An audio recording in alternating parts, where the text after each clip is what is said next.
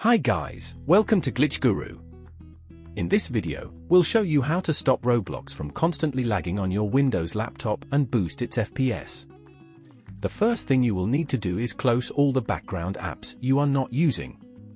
For that, right-click on the Start icon on the taskbar and select the Task Manager option from the list. Now, simply select the program you don't need and click the End Task button at the top.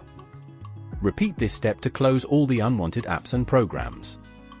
Once you have done this, close the Task Manager window. Now, open the search menu on your computer.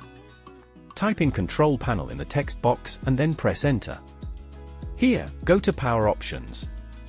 In this menu, select the High Performance option. This will allow Windows to favor performance and help Roblox run smoothly. Next, you need to ensure that Roblox is allowed to use your GPU. For that, right-click on the Start icon again. Then, select Settings from the list. Select the System tab in the left pane. Here, select the Display option on your right. In this menu, scroll down to Related Settings and click on Graphics.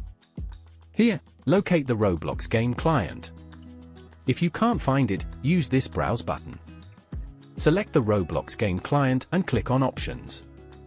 Here, choose the High Performance option and then hit Save. The last thing you need to improve is Roblox FPS limit. To do that, use the link in the description to download the FPS Unlocker setup file. Once downloaded, extract the file on your PC and run this exe file. This will open a command prompt window and Roblox FPS Unlocker will start running. After that, open your favorite Roblox game and press Shift plus F5 to check FPS. As you can see Roblox FPS increases instantly. Let me know in the comments if this helped and subscribe to Glitch Guru for more such tips.